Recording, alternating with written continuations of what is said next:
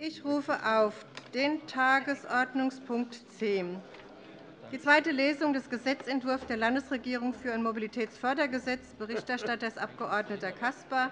Die Drucksache 19-6397 zu 19 6071. Die vereinbarte Redezeit beträgt nachher zehn Minuten. Ich bitte den Kollegen Caspar um Berichterstattung. Bitte schön. Frau Präsidentin, meine Damen und Herren! Der Ausschuss für Wirtschaft, Energie Verkehr und Landesentwicklung empfiehlt dem Plenum mit den Stimmen von CDU und GRÜNEN bei Enthaltung von SPD, LINKEN und FDP den Gesetzentwurf unter Berücksichtigung des Änderungsantrags 19 6380 in zweiter Lesung anzunehmen. Vielen Dank, Herr Kollege Caspar, für die Berichterstattung. Die erste Wortmeldung kommt von Frau Kollegin Müller, BÜNDNIS 90 die GRÜNEN. Bitte schön, Frau Kollegin, Sie haben das Wort.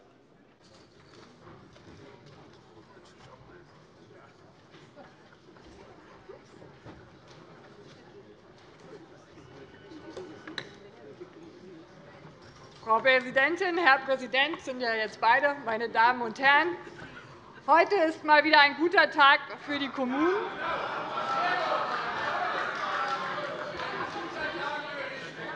Ich wusste, dass Sie mir dazu Darf ich bitte ausgehen? Heute ist ein guter Tag für die Kommunen, und ich hoffe, Sie sehen das ich hoffe, ich hoffe, Sie sehen das auch so, denn mit dem vorgelegten Gesetzentwurf, den wir heute in zweiter Lesung verabschieden werden, bekommen die Kommunen Planungssicherheit für den kommunalen Straßenbau, für den Radwegebau und auch für den öffentlichen Personennahverkehr.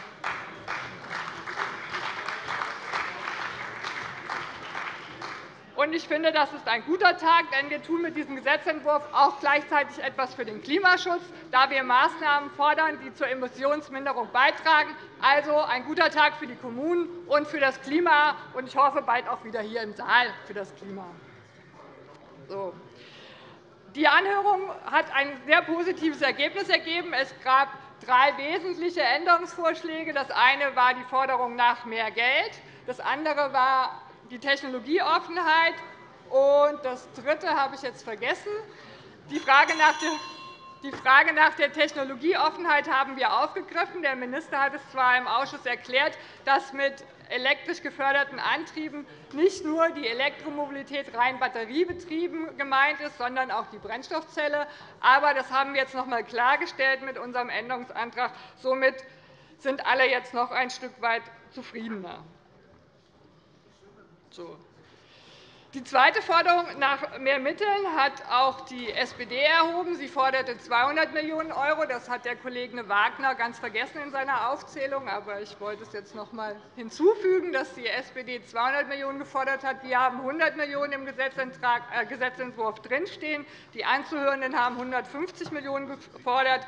Da denke ich, werden wir in den zukünftigen Haushaltsberatungen darüber reden. Jetzt bleibt es auch erst einmal abzuwarten, ob der Bund seiner Verantwortung nachkommt und die Mittel des Bundes-GVFG deutlich erhöht und auch bereits Maßnahmen ab 20 Millionen € fordert. Alles, was man bisher hört über den äh, Verkehrshaushalt, lässt da wenig hoffen. Aber ich habe gehört, es gibt Verhandlungen. Und da setze ich auf die SPD zusammen mit der CDU, dass sie kräftig bei dem Finanzminister dafür werben, dass die GVFG-Bundesmittel auch hochgesetzt werden und äh, dass auch Maßnahmen ab 20 Millionen € gefördert werden.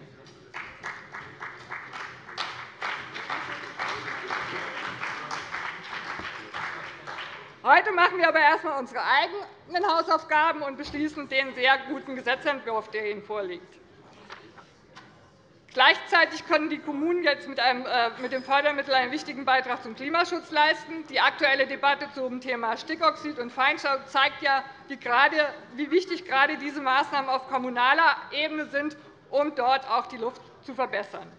Wir haben äh, einen ähnlichen Gesetzentwurf bereits 2011 eingebracht. Wir wollten damit Rechtssicherheit schaffen für die Zweckbindung der Mittel, die ja noch bis 2019 laufen. Damals gab es einen Kabinettsbeschluss, uns wäre der Gesetzentwurf lieber gewesen.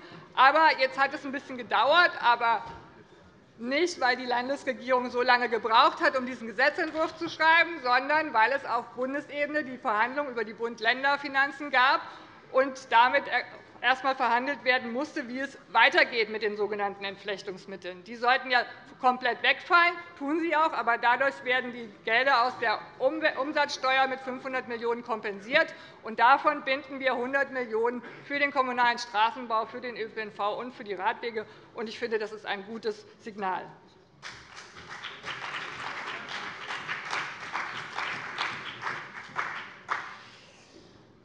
Die Summe ist mit 100 Millionen € festgelegt. Das sind immerhin 3,5 Millionen € mehr als bisher. Bisher waren es 96,5 Millionen €. Das sind eigene Landesmittel. auch wenn Frau Wissler heute Geburtstag hat, nehme ich Ihre Argumentation schon einmal vorweg, weil Sie sagen ja immer gerne, es sind keine Landesmittel. Es sind sehr wohl Landesmittel, weil mit den 500 Millionen € ist jedes Land frei, zu tun, was es will, ob es weiter in den kommunalen Straßenbau, ÖPNV, Radwege, Wohnungsbau Wohnungsbau, Hochschulen investiert oder ob es das Geld für gebührenfreie Kindertagesstätten ausgibt, was auch immer. Das ist im Land freigestellt. Von daher sind es eigene Landesmittel. und Deswegen dürfen wir auch selbstständig die Kriterien festlegen, was wir fördern. Das Land Brandenburg zum Beispiel, um das noch einmal ein bisschen zu unterfüttern, hat erklärt, die SPD-Verkehrsministerin, dass die Entflechtungsmittel ab dem Jahr 2019 mit Landesmitteln kompensiert werden, leider ohne gesetzliche äh, Bindung bisher, aber sie redet explizit von Landesmitteln. Also noch ein Beleg dafür, dass wir Landesmittel in die Hand nehmen und nicht Geld, das wir sowieso gekriegt hätten für diese Zwecke.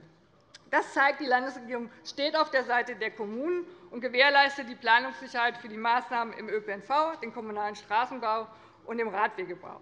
Zusätzlich gibt es auch keine Befristung des Gesetzes. Die Landesregierung berichtet aber nach sieben Jahren über die Maßnahmen. Das schafft noch einmal zusätzlich Planungssicherheit auch für größere Vorhaben, die dann über mehrere Jahre hinweg auch geplant werden können und eine längere Laufzeit haben. Eine Befristung würde ansonsten auch den Sinn und Zweck des Gesetzes zuwiderlaufen, nämlich die nachhaltige Mobilitätsentwicklung in den Gemeinden zu fördern. Und wir legen mit dem Gesetz auch fest, was wir schon im Koalitionsvertrag festgelegt haben und bis jetzt auch praktiziert haben, dass die Aufteilung der Mittel zwischen ÖPNV und kommunalen Straßenbau weiterhin bei 50-50 liegt. Auch da gab es in der Anhörung unterschiedliche Perspektiven und Meinungen. Die einen wollten 30% für den ÖPNV und 70 für den Straßenbau. Die anderen wollten 70% für den ÖPNV und 30 für den Straßenbau. Nein, nein, nein. Von daher denke ich, 50-50 ist eine gute Entscheidung und ein ordentlicher Kompromiss.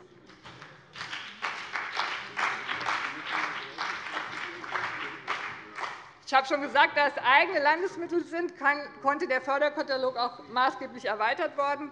Die bisherigen Maßnahmen bleiben natürlich auch weiterhin förderfähig. Aber jetzt kann z. B. die grundhafte Erneuerung von Schienenstrecken zukünftig gefördert werden. Das war den Kommunen sehr wichtig.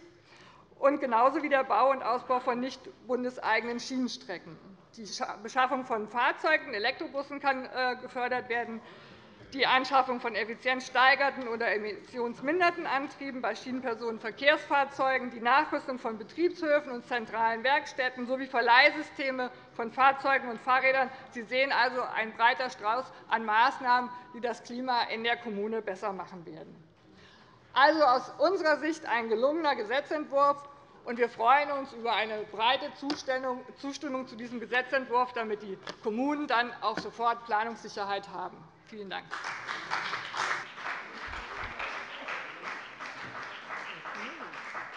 Vielen Dank. Das Wort hat der Kollege Frankenberger, SPD-Fraktion.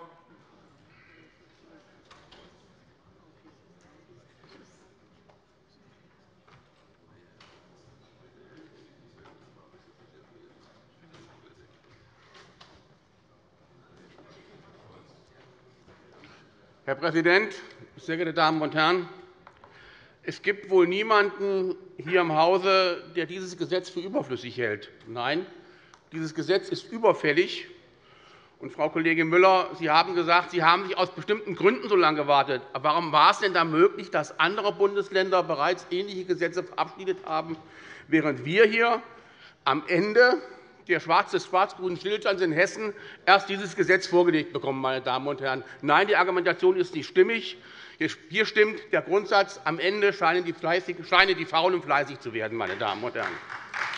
Herr Kollege Frankenberger, Frau Kollegin Müller möchte Ihnen eine Frage stellen. Wie sieht es aus? Nein, auch gut, nichts. Weiter. Denn ich bin ja schon dankbar, dass ähm, Schwarz und Grün der parlamentarischen Debatte folgt und der parlamentarische Debatte nicht auswirkt. Meine Damen und Herren. Da ist ja schon einmal viel gewonnen, wie wir am letzten Tagesordnungspunkt äh, bemerkt haben. Meine Damen und Herren, dieses Gesetz gibt Planungssicherheit auch über 2019 hinaus, und das können die Kommunen auch erwarten.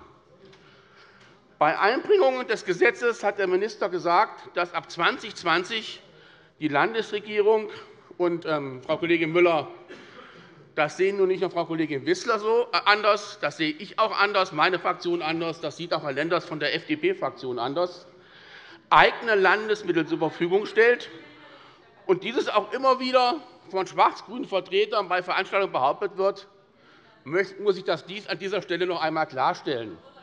Mit der Neuordnung der Bund-Länder-Finanzbeziehungen fallen die sogenannten Entflechtungsmittel für die Bundesländer weg. Meine Damen und Herren. Und diesen Betrag will Schwarz-Grün gerade einmal um 3,5 Millionen € erhöhen. Aber als Kompensation für die wegfallenden Mittel erhalten alle Bundesländer einen höheren Anteil aus dem Umsatzsteueraufkommen. Es war also immer klar, dass die Bundesländer eigene Landesgesetze auf den Weg bringen, um die kommunale verkehrliche Infrastruktur zu fördern.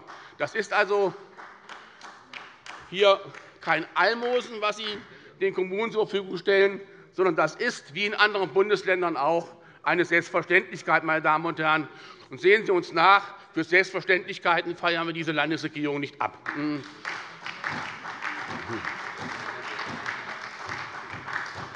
Meine Damen und Herren, allerdings es gibt auch Stimmen im Land, die hätten dieser Landesregierung zugetraut, dass sie dieses Gesetz nicht eingebracht hätten. Die finanziellen Mittel nach diesem Gesetz kommen den Kommunen in Hessen zugute. Aber so, wie die CDU seit 19 Jahren in Hessen mit den Kommunen umgeht, hat man eben der Landesregierung auch zugetraut, dieses Gesetz einfach unter den Tisch fallen zu lassen. Das ist doch nach den Erfahrungen der letzten 19 Jahre im Umgang mit den Kommunen nicht so abwegig, meine Damen und Herren. Denn auf Bundesebene erzählt man sich, bei den regierenden Schwarzen in Hessen schreiben die meisten Kommunen rote Zahlen. Meine Damen und Herren. Die hessischen Kommunen belegen unter den Bundesländern bei der Verschuldung den dritten Platz unter allen. Ein Spitzenplatz, meine Damen und Herren, auf den man auf keinen Fall stolz sein kann.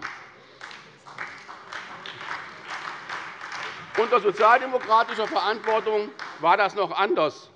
Da belegten die Kommunen in Hessen noch den letzten Platz bei der Verschuldung, und das macht auch den Unterschied. Unter der CDU haben Hessens Kommunen bei der Verschuldung einen Spitzenplatz. Unter Sozialdemokraten liegen die Kommunen bei der Verschuldung auf einem der hinteren Plätze. Meine Damen und Herren. Das ist ja auch zu erklären. Erinnern wir uns nur an die 344 Millionen €, die die CDU den hessischen Kommunen in den letzten Jahren weggenommen hat. Dieses Geld fehlt für Kindergärten, für Schulen, aber auch für die verkehrliche Infrastruktur und insbesondere auch für den ÖPNV. Meine Damen und Herren, ab 2004, in Zeiten absoluter Mehrheit der CDU in Hessen, im Gegensatz zu anderen Bundesländern gibt es in Hessen keine Fahrzeugförderung von Bussen und Bahnen mehr. Seit 2017 besteht wieder die Fördermöglichkeit für Busse, aber ausschließlich für Elektrobusse. Und wenn dieses Gesetz angenommen wird, dann kommt noch die Brennstoffzelle dazu. Meine Damen und Herren, seit die CDU in Hessen regiert, hat sich bei den Kommunen in Hessen ein riesiger Sanierungsstau angehäuft. Darüber konnten wir in der heutigen HNA ein Beispiel aus Kassel lesen. Unter der Überschrift Jede fünfte Straße in Kassel ist kaputt berichtete die HNA darüber, dass in der Kommune 21% aller kommunalen Straßen sich in einem schlechten oder sehr schlechten Zustand befinden. Und es ist ja nicht so, dass in Kassel in den letzten Jahren nichts getan wurde. Seit 2012 wurden jährlich 21 Millionen € in die kommunalen Straßen gesteckt. Und dafür wurden und mussten auch teils Anlieger zur Kasse gebeten werden. Meine Damen und Herren. Und wenn es nach Schwarz-Grün geht, dann werden die Anlieger in Kassel und auch in anderen Kommunen auch in den nächsten Jahren für die Sanierung der Straßen bezahlen. Meine Damen und Herren. Aber da gibt es ja zum Glück Alternativen. Meine Damen und Herren, wie in Kassel stehen viele Kommunen in Hessen vor der Entscheidung, gibt man das Geld für Schulen, für Kindergärten, für Straßen, für den ÖPNV aus. Sie müssen Prioritäten setzen. Und wie bei den Landesstraßen so findet auch auf kommunaler Ebene ein Werteverzehr von öffentlichem Eigentum statt, weil die Kommunen in Hessen im Gegensatz zu anderen Bundesländern von CDU geführten Landesregierungen finanziell unzureichend ausgestattet werden. Meine Damen und Herren, in der Anhörung haben die Anzuhörenden im Grundsatz, im Grundsatz die Einbringung dieses Gesetzes begrüßt. Und Kollege Müller, die Kritik lag bei den Finanzmitteln, sie lag bei der Technologieförderung und sie lag bei der Grunderneuerung. Das war der dritte Punkt, der angebracht worden ist. Meine Damen und Herren, das war aber nicht der übliche Reflex und die Forderung nach mehr Geld, wie das abschätzig immer die Regierungsmehrheit von Schwarz-Grün versucht hinzustellen. Ich kenne diese Reflexe mittlerweile. Ich bin ja auch Mitglied im KPA, und ich finde die Reflexe in beiden Ausschüssen ziemlich identisch. Im KPA präsentiert uns der Minister immer ein Feuerwerk an Zahlen, wie gut alles ist. Die Unterrichtsversorgung ist spitze, und vor Ort in den Schulen, von den Eltern, von den Betroffenen wird das alles ganz anders wahrgenommen. Meine Damen und Herren, nicht von der Opposition, von den Betroffenen. Ähnlich ist das im WVA. Da bringt der Minister ein Feuerwerk von Maßnahmen und Zahlen ab. Und wenn wir uns dann vor Ort umschauen, dann wird das alles ganz anders beurteilt. Meine Damen und Herren. So ist die Realität in Hessen. Der Deutsche Städtetag geht davon aus, dass allein für die Instandhaltung von kommunalen Verkehrswegen und ÖPNV 3 Milliarden € fehlen. In der Diskussion um die Erhöhung der Regionalisierungsmittel wurde für Hessen ein jährlicher Bedarf von mindestens 142 Millionen € für Hessen festgestellt. Viele der Angehörten haben deutlich gemacht, dass die Investitionsbedarfe in den Kommunen so groß sind, dass die vorgesehenen Mittel nicht ausreichen werden. Da hilft es auch nicht. Sie haben den Förderkatalog ausgeweitet, aber da gibt es noch viel mehr Wünsche von den Betroffenen vor Ort, wenn man dann einfach sozusagen auf deren Wünsche nicht eingeht und die Anzahl der Maßnahmen so eingrenzt, wie das in diesem Gesetzentwurf der Fall ist. Meine Damen und Herren. Zum Schluss lassen Sie mich noch sagen, da geht es oftmals bei den Kommunen nicht um Verbesserungen, da geht es allein um den Erhalt und nicht mehr und nicht weniger. Dieses Gesetz ist notwendig. Es ist aber kein großer Wurf, wenn es um Investitionen und Strategien im Mobilitätsbereich für die Kommunen geht. Meine Damen und Herren. Vielen Dank.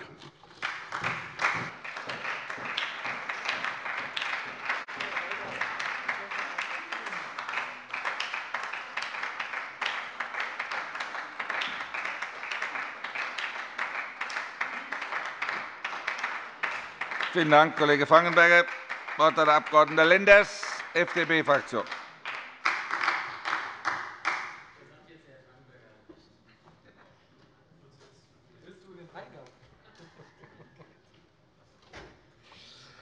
Herr Präsident, meine Damen und Herren! Was, sind das jetzt Landesmittel oder sind es Bundesmittel? Vielleicht sagt man es so, es waren einmal Bundesmittel, und der Bund überträgt jetzt die Verantwortung auf die Länder.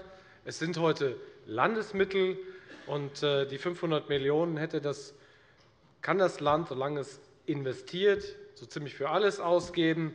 Und äh, man hätte, na, das sind Investitionsausgaben, konsumtive Ausgaben. Okay, wenn Sie sagen, das sind auch konsumtive Ausgaben, Herr Staatsminister, da will ich gar nicht mit Ihnen darüber streiten.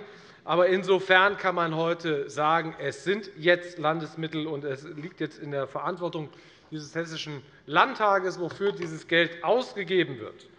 Und, Frau Kollegin Müller, es stimmt, es ist ein breiter Strauß, und der Strauß ist auch noch ein bisschen breiter geworden, als er ursprünglich einmal war. Das macht es auch ein bisschen das Problem.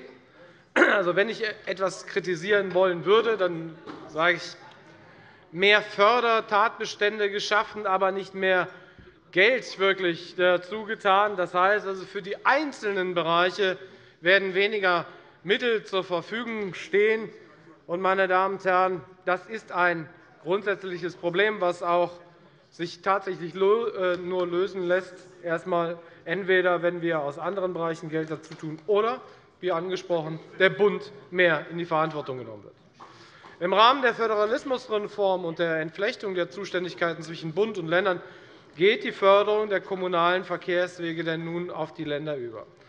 Meine Damen und Herren, auch wenn der Bund im Bereich der Großinvestitionen für ÖPNV-Schienenprojekte noch längere Mittel zur Verfügung stellen wird, nimmt die Verantwortung des Landes für den Zustand der kommunalen Straßen und des ÖPNV mit dem Mobilitätsfördergesetz dahingehend zu wenn der Bund auch an Teilbereichen noch drin ist, jetzt ist es wirklich Aufgabe des Landes. Und wenn das Land nun für die kommunalen Verkehrswege zuständig ist, was wäre dann logischerweise die erste Aufgabe? Natürlich die Feststellung des Bedarfs. In der Anhörung haben wir von verschiedenen Seiten gehört, dass die im Gesetz vorgesehenen mindestens 100 Millionen € jährlich nicht ausreichen. Wie hoch der tatsächliche Bedarf aber ist, wie der Sanierungsstau im Bereich der kommunalen Straßen aussieht, das konnte uns bis heute niemand genau beziffern. Also, es kann doch nicht ernsthaft so sein, dass das Land 100 Millionen € zur Verfügung stellt. Die kommunale Familie spricht von 140 oder 150 Millionen €. Aber niemand weiß, wie viel Geld es eigentlich nötig wäre, um die Verkehrswege und den ÖPNV ausreichend zu finanzieren. Leider hat die Landesregierung die Chance nicht genutzt und äh, im Rahmen des Mobilitätsfördergesetzes eine saubere, fachliche fundierte Bedarfsanalyse auf den Weg zu bringen. Wir wollen eine Bedarfsanalyse, die sicherstellt, dass die Bedarfe in Hessen nach den gleichen Kriterien ermitteln und alle Gemeinden fair behandeln. In der Anhörung kam häufig der Vorschlag einer Dynamisierung der Mittel an die Anlehnung der 8% festzuschreiben, die wir aus dem Bund kennen. Meine Damen und Herren, das hat aber mit dem Straßenbau und den Investitionen in Verkehrswege nur wenig zu tun. Auch wir wollen eine regelmäßige Anpassung der Mittel, aber die Anpassung muss am Bedarf und an der Entwicklung der Investitionskosten angelegt sein. Die weglaufenden Investitionskosten ist hier auch schon angesprochen worden. Meine Damen und Herren, dazu kommt eben auch die Erweiterung der Fördermöglichkeiten. Deswegen schlagen wir vor, die Einsetzung einer Expertenkommission Verkehrswege in Hessen. Diese Kommission soll nach unseren Vorstellungen äh, bestehend aus dem Land, den Kommunen, den Verkehrsgesellschaften, den Vertretern ähm, äh, äh, entstehen und soll sachlich fundiert den realen Finanzmittelbedarf der Kommunen und der Verkehrsbetriebe ermitteln. Es wäre außerdem sinnvoll, das Know-how einer solchen Expertenkommission zu nutzen, um die Bedarfsplanung und den Abbau des Sanierungsstaus im Bereich der Landstraßen zu begleiten. Alleine denn bei den Landstraßen haben wir einen Sanierungsstau von 1,3 Milliarden €. Meine Damen und Herren,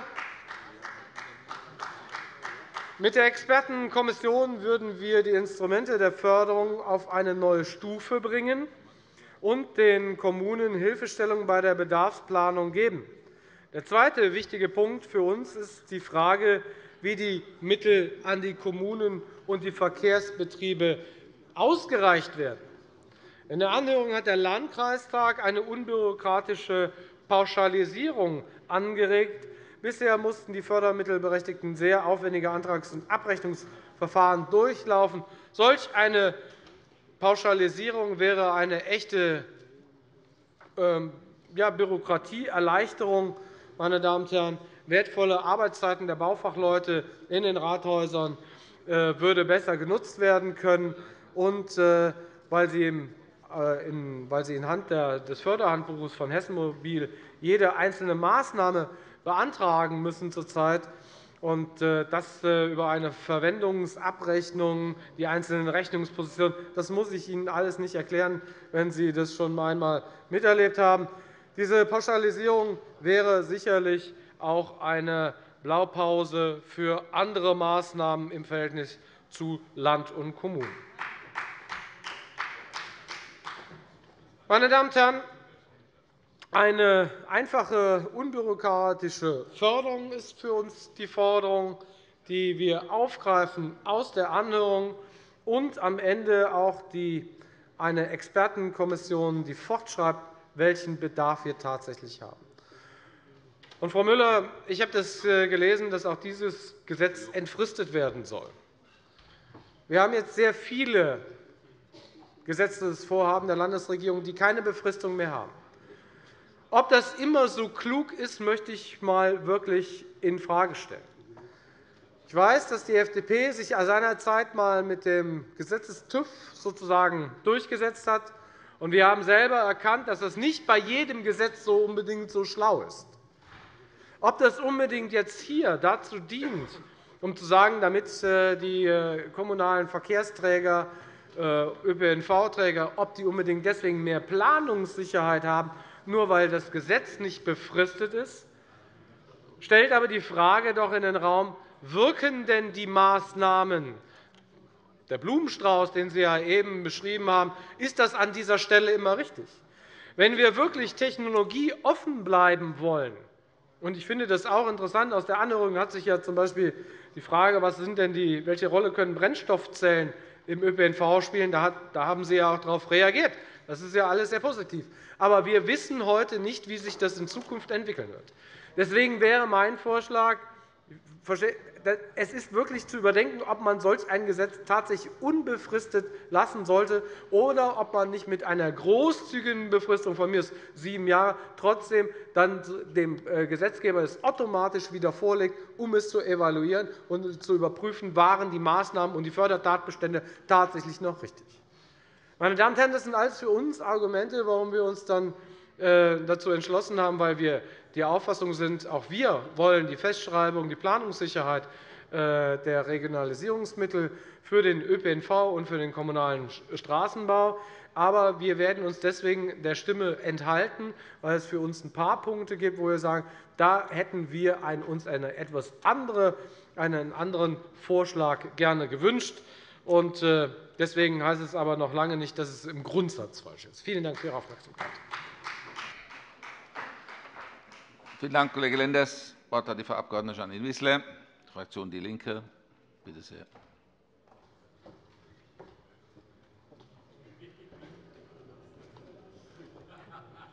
Herr Präsident, meine Damen und Herren!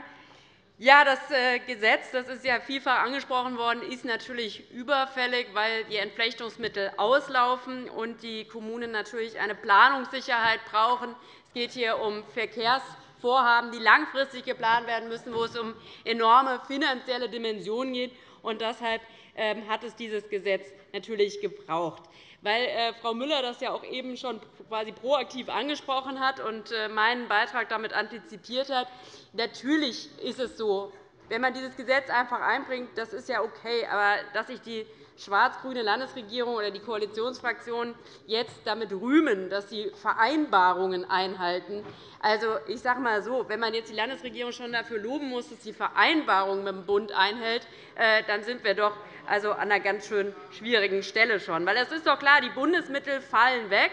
Das Land wird zuständig, das ist doch alles so vereinbart, und erhält ab 2020 in gleicher Höhe, Frau Müller, die Mittel, in gleicher Höhe über die Umsatzsteuer zusätzlich die Mittel vom Bund. Natürlich sind das dann am Ende Landesmittel, aber es ist doch klar, dass das rechte Tasche linke Tasche ist und ähm, es eine Vereinbarung gab. Können wir noch einmal, ich glaube, wir müssen das auch nicht weiter äh, diskutieren, weil das Entscheidendere ist doch, das Entscheidendere ist doch, dass der Status quo beibehalten wird. Es ändert sich doch nichts. Sie nehmen eben nicht zusätzlich Geld in die Hand. Sie legen nicht etwas drauf sondern der Status quo bleibt faktisch der gleiche. Das ist doch auch in der Anhörung deutlich gemacht worden. in der Anhörung haben noch mehrere Anzuhörende darauf hingewiesen, dass natürlich das Geld, um das es da jetzt geht, überhaupt nicht ausreicht, um wirklich etwas zu verändern im Verkehrsbereich, um wirklich große Investitionen zu stemmen. Und das ist, was wir kritisieren an diesem Gesetz. Wir reden über Verkehrswende. Wir reden darüber, dass es notwendig wäre, dass Busse und Bahnen nicht aus allen ähm, Nähten platzen, wenn wir über den Ballungsgebiete reden, und wir reden darüber, dass der ländliche Raum nicht abgehängt werden darf. Wer das möchte, der muss aber wirklich Geld drauflegen. Und der darf doch nicht einfach den Status quo beibehalten, wenn wir sagen, wir wollen eine Verkehrswende, meine Damen und Herren. Und dann war natürlich auch die Frage, ob man das jetzt wirklich diese 50-50-Aufteilung macht, wie Sie das jetzt festgeschrieben haben. Auch daran gab es ja äh, Zweifel, ob das so klug ist, äh, das so zu machen. Das muss man jetzt im Detail äh, nicht mehr alles diskutieren. Von daher, Sie haben die Chance nicht genutzt, mit diesem Gesetz eben wirklich die Mobilität in Hessen zu verbessern, sondern Sie behalten den Status quo, den wir jetzt haben, bei da schaffen Sie Planungssicherheit, das stimmt. Über das Jahr 2020 wissen die Kommunen, dass sie das Geld weiter bekommen, was sie bisher hatten. Das wissen die Kommunen. Aber sie behalten den Status quo bei. Äh, das kann man so machen, aber da muss man sich nicht äh, noch dafür feiern lassen. Deswegen finde ich, ist das Gesetz, ja, das ist besser als nichts. Dieses Gesetz es ist besser, dass es da ist, als wenn es nicht da wäre, weil dann wäre völlig unklar, was ab 2020 ist. Aber es ist eben auch kein großer Wurf. Und deshalb kommen wir zu dem Punkt, dass, man das dann, dass wir uns an dem Punkt enthalten, weil wir uns gewünscht hätten, dass in diesem Gesetz eine ganze Menge mehr drinsteht. Das könnte ich jetzt alles noch einmal in zehn Minuten, solange ist die Redezeit, ausführen. Aber an der Stelle bin ich der Meinung, dreieinhalb Minuten reichen auch. Das äh, erhöht bei mir die Hoffnung, dass ich Teile meines Geburtstags noch außerhalb des Plenarsaals verbringen kann. Von daher glaube ich, alles Notwendige ist gesagt, und wir werden uns enthalten.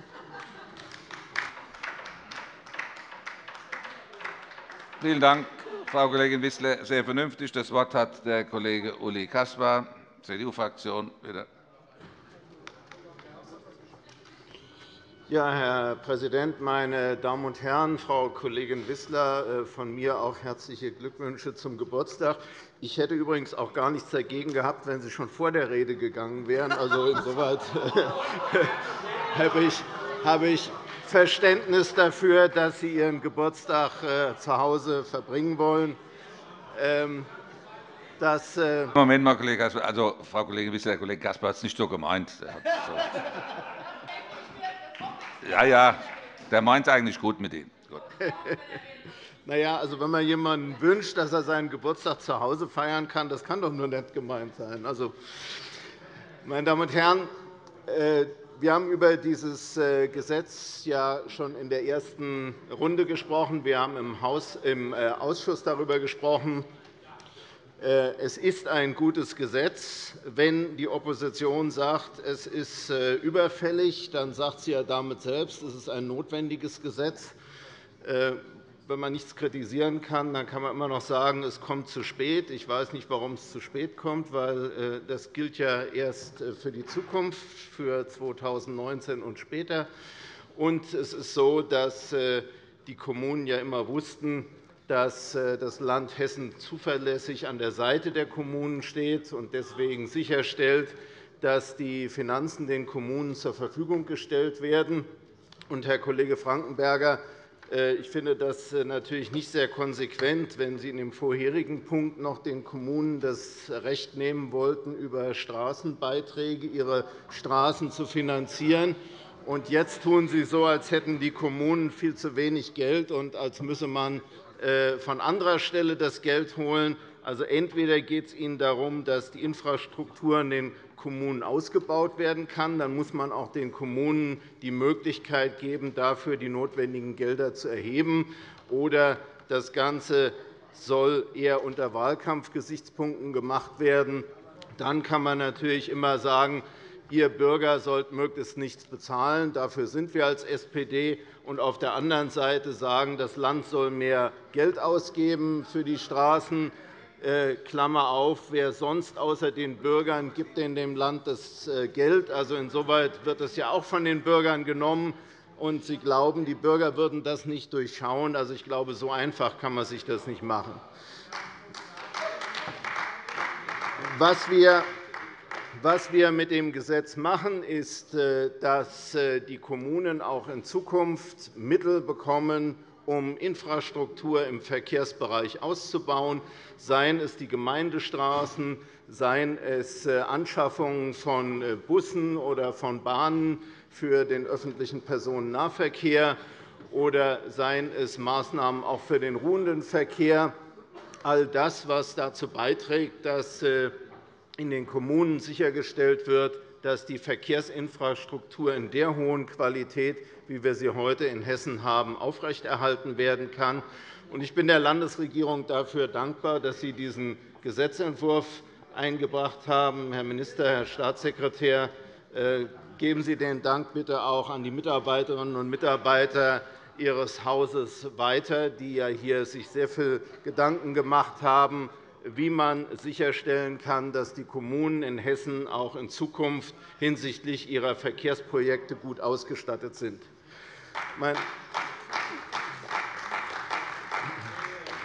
Meine Damen und Herren, wir haben eine Anhörung gehabt. Und wie sich das für ordentliche Parlamentsarbeit auch gehört, haben wir natürlich die Angehörigen, die Anzuhörenden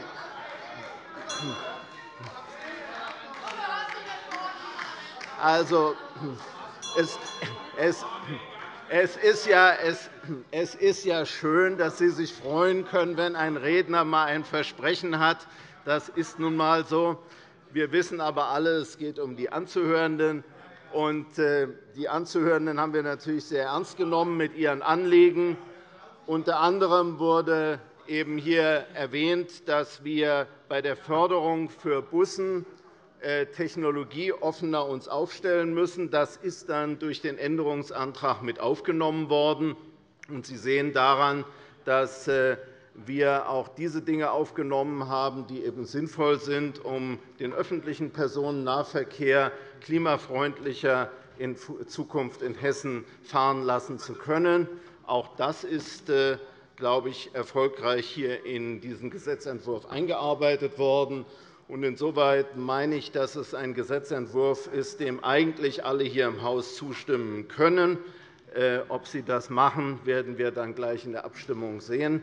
Aber wir jedenfalls sind davon überzeugt, und äh, das haben wir auch seitens der Kommunen als Rückkopplung bekommen, dass äh, das ein sehr guter Entwurf ist, der den Kommunen massiv hilft, die Infrastruktur weiter im Verkehrsbereich in einer guten Verfassung zu halten. Vielen Dank.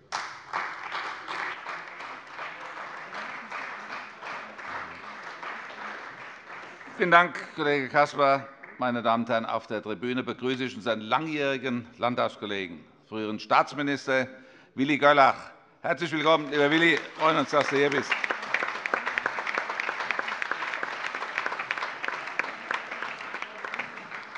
Jetzt hat das Wort der Wirtschaftsminister. Al-Wazir Tarek, bitte. Herr Präsident, meine sehr verehrten Damen und Herren! Wir haben in Hessen in dieser Legislaturperiode die Weichen für die Verkehrswende hin zu einer nachhaltigen Mobilität gestellt. Wir haben den ÖPNV gestärkt für deutlich, mit deutlich mehr Geld für die Verkehrsverbünde. Wir haben neue Angebote eingeführt, wie beispielsweise das Schülerticket. Wir haben Fernbahnprojekte angestoßen und begleiten sie bzw. wieder in Bewegung gebracht, wie beispielsweise Frankfurt-Mannheim oder Hanau-Fulda. Wir kümmern uns um den Zustand des Landesstraßennetzes, Stichwort Sanierungsoffensive. Wir kümmern uns um die Radfahrer und Fußgänger, Beispiel Radwege an Landesstraßen oder die AG Nahmobilität. Äh, das Mobilitätsfördergesetz, das wir hier heute beschließen, ist ein weiterer Baustein für diesen Weg hin zu nachhaltiger Mobilität. Weil, liebe Kolleginnen und Kollegen, wir wissen, 76% der zurückgelegten Wege sind kürzer als 10 km. 27% sind sogar kürzer als 1 km. Ob die Verkehrswende gelingt, hängt deshalb entscheidend davon ab, wie wir die kurzen Wege gestalten. Ein großer Teil dieser kurzen Wege wird dabei innerorts zurückgelegt. deshalb unterstützen wir mit dem Mobilitätsfördergesetz die Städte und Gemeinden bei einer zukunftsfähigen Verkehrspolitik. Und die Entflechtungsmittel des Bundes, es ist erwähnt worden, laufen Ende des Jahres 2019 aus. Ich finde, an diesem Punkt macht es auch Sinn, dieses neue Gesetz, Herr Kollege Lenders, zu entfristen, weil wir wissen, dass Planungen im Bereich Verkehr durchaus auch sehr langfristig sind Deswegen ist klar, dass ein nicht befristetes Gesetz, das die Mindestsumme von 100 Millionen € festlegt, den Kommunen auch Planungssicherheit gibt. Äh, ich will an dieser Stelle noch einmal ausdrücklich sagen, wir äh, ersetzen diese äh, wegfallenden Entflechtungsmittel des Bundes aus eigener Tasche. Wir verstärken die Förderung auf dauerhafter Basis und richten sie auf nachhaltige Mobilität aus. Ich finde, äh, Stichwort Selbstverständlichkeit, was hier genannt wird, Kollegin Wissler, auch von meiner Seite aus herzlichen Glückwunsch zum Geburtstag. Also, so selbstverständlich ist das nicht, dass, äh, wenn man entflechtet und am Ende sozusagen Aufgaben, die bisher geteilt waren, äh, den Ländern gibt, dass diese die Mittel dann für diese Bereiche einsetzen.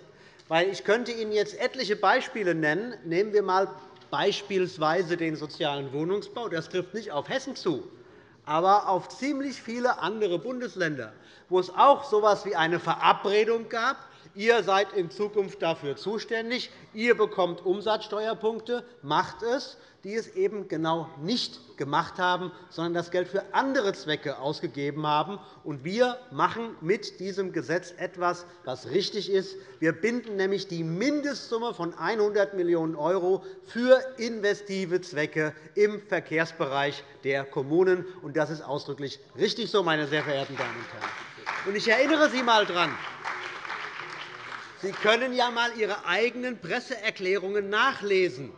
Ich bin mir ziemlich sicher, dass es von der Linksfraktion eine gibt, und bei der SPD weiß ich sogar ziemlich genau, dass es da eine gibt, was Sie am Tag nach der Einigung über die Neuregelung der Bund-Länder-Finanzen so gesagt haben.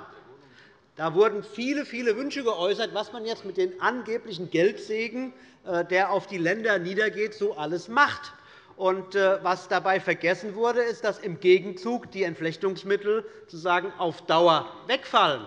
Und wenn Sie das sich einmal betrachten, es gibt ja so Regelungen, äh, so Modellrechnungen zum damaligen Zeitpunkt, dass Hessen ungefähr ein Plus in Anführungszeichen von 550 Millionen € hat durch die Neuregelung des Länderfinanzausgleichs der Bund-Länder-Finanzen. Dann kann ich Ihnen sagen, gucken Sie sich einmal an die 440 Millionen € für die Beitragsfreistellung der Kindergärten und die 100 Millionen €, die wir jetzt hier investiv binden. Dann werden Sie feststellen, damit ist das Geld dann auch schon weg. Ich finde, für Verkehrspolitiker, die langfristig denken, ist es sehr, sehr wichtig, dass wir an dieser Stelle Natürlich hätte man das auch im Haushalt machen können. Andere Bundesländer machen das auch im Haushalt. Aber wir haben jetzt hier ein Gesetz, wo man nicht einmal eben eine Unterzeile in der Haushaltsberatung ändern kann und das Geld für etwas anderes ausgeben kann, sondern wo wir die investive Bindung dieser Mittel der Mindestsumme von 100 Millionen € gesetzlich festschreiben. Das heißt, jede Veränderung an diesem Gesetz, um es für etwas anderes auszugeben, wäre wieder ein Gesetz mit allem, was dazugehört, was deutlich komplizierter ist, als mal eben im Haushalt zwischen zweiter und dritter Lesung irgendeine Zeile im Einzelplan 07 zu ändern. Meine sehr verehrten Damen und Herren. Deswegen ist es eine gute Nachricht für die langfristige Planungssicherheit der Kommunen, meine sehr verehrten Kolleginnen und Kollegen. Was wir auch festschreiben, ist die hälftige Verteilung der erhöhten Fördermittel zwischen den Projekten des kommunalen Straßenbaus und des öffentlichen Personennahverkehrs. Ich will das an dieser Stelle auch noch einmal sagen. Auch dort haben die Bürgerinnen und Bürger ja eine ausdrückliche Meinung, die sagt, dass wir da auf dem richtigen Weg sind. Sie haben den Hessentrend gesehen, Anfang Januar, repräsentative Umfrage von Infratest, offene Frage an die Bürgerinnen und Bürger, in welchen Verkehrsbereich würden Sie investieren? Zuerst investieren, wenn Sie es alleine entscheiden können. Antwort 56% Busse und Bahnen, 30% das Straßennetz, 10% den Radverkehr.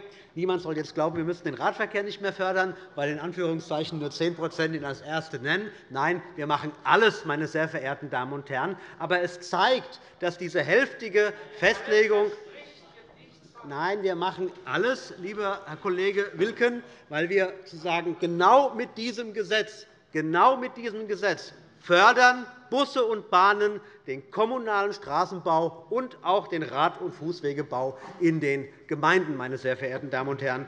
Ich glaube, dass das genau das ist, was die Bürgerinnen und Bürger auch wollen. Und was auch klar ist, was auch klar ist das will ich ausdrücklich sagen, wir haben auch neue Schwerpunkte gesetzt weil die Herausforderung der nächsten Jahrzehnte wird auch der Erhalt der bestehenden kommunalen Schienennetze sein. Und hier werden wir, da haben wir ja auch sehr genau hingehört in den Anhörungen, werden wir in enger Abstimmung mit den betroffenen Kommunen in der nun zu erarbeitenden Richtlinie zum Gesetz die Möglichkeiten einer Unterstützung durch das Land aufzeigen. Weil, ob es nun die roten neuen S-Bahn-Züge der DB sind oder die gelben Triebfahrzeuge der Hessischen Landesbahn oder auch der grün lackierte elektrisch angetriebene Stadtbus in Fulda. Ich glaube, an dieser Stelle ist es nötig, in alle diesen Bereichen zu investieren. Wir verbessern auch das Radwegenetz, äh, sowohl die touristischen Radwege im eher ländlichen Raum als auch die Radwege für den Alltagsverkehr mit verstärktem Bedarf im Ballungsraum.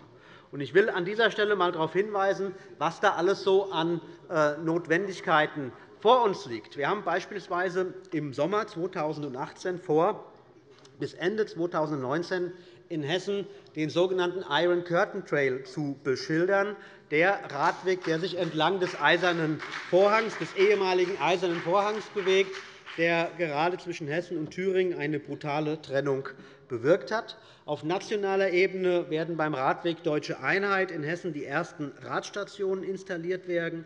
Der Radweg Deutsche Einheit geht von Bonn nach Berlin, und äh, der größte Teil, nämlich 375 km, verläuft durch Essen. Wir unterstützen die Kommunen an dieser Stelle bei der Finanzierung der Radstationen, übernehmen die Beschilderung, und wir wollen natürlich auch den Radverkehr im Alltag attraktiver machen unterstützen deshalb die Kommunen beim Bau der notwendigen Infrastruktur. Und wir machen eine Förderung insbesondere zur Markteinführung von energieeffizienten und klimafreundlichen Taxenbussen und Bahnen möglich. Und, Herr Frankenberger, Sie haben ja angesprochen, dass es keine Förderung mehr gibt für Neufahrzeuge, die sozusagen nichts Innovatives sind, sondern einfach nur eine Ersatzbeschaffung. Äh, da haben wir auch lange darüber diskutiert. Aber da gilt dann halt, wer allen alles verspricht, ähm, der kann am Ende, der kann am Ende nicht mehr sozusagen das Innovative fördern. Und ich finde, ich finde, ich finde, dass, wenn es um Ersatzbeschaffung geht, dass dann von Bussen und Bahnen dass dann zu einem kommunalen Verkehrsbetrieb, die ja lange Abschreibungsfristen haben, auch die Rückstellung gehört, damit man, wenn man weiß, dass das irgendwann an sein Lebensende kommt, auch das Neue dann selbst finanzieren kann. Das gehört zu einer seriösen Finanzierung dazu. Aber Sie haben es angesprochen, das Innovative, was deutlich mehr kostet, noch, sage ich, wie beispielsweise die E-Busse, die fördern wir ausdrücklich, weil wir da die Kommunen unterstützen wollen, meine sehr verehrten Damen und Herren. Und wir wollen auch die Parksituation in den Innenstädten und dicht bebauten Ortskernen entlasten. Förderung moderner Angebote Carsharing, Leihfahrradstationen und Ähnliches, inklusive der IT-Systeme, um die unterschiedlichen Verkehrsträger miteinander zu Herr Minister, Sie denken an die Redezeit. An die Redezeit, Herr Präsident, und komme zum Schluss. Wir alle wollen und müssen mobil sein. Wir fördern die Mobilität der Zukunft. Wir setzen dabei eigene Akzente und passen die Förderung der Verkehrsinfrastruktur an heutige Erfordernisse an. Ich sage ausdrücklich, das ist mein letzter Satz, es steht mindestens 100 Millionen € im Gesetz. Der Haushaltsgesetzgeber, also der Landtag, ist frei, wenn Bedarfe größer sind, auch sozusagen für bestimmte Projekte mehr in den Haushalt einzustellen. Aber dass wir diese 100 Millionen € jetzt gesichert haben, meine sehr verehrten Damen und Herren, das ist eine gute Nachricht für zukunftsfähige Mobilität in Hessen. Vielen Dank.